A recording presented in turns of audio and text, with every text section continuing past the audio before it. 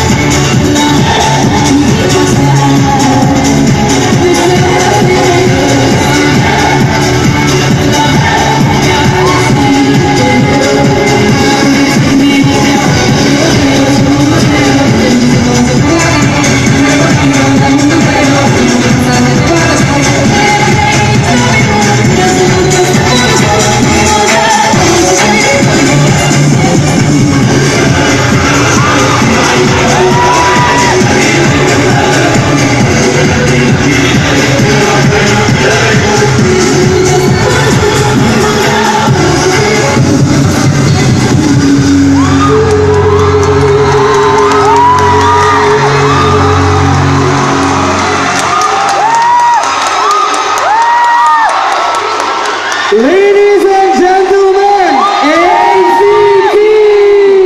And they delivered today. Yes! Yung mga props po, ilalagay sa stage. Yung mga pamaypay, yung mga props, pakilagay po sa stage. Okay. At tatawagin po natin lahat ng mga groups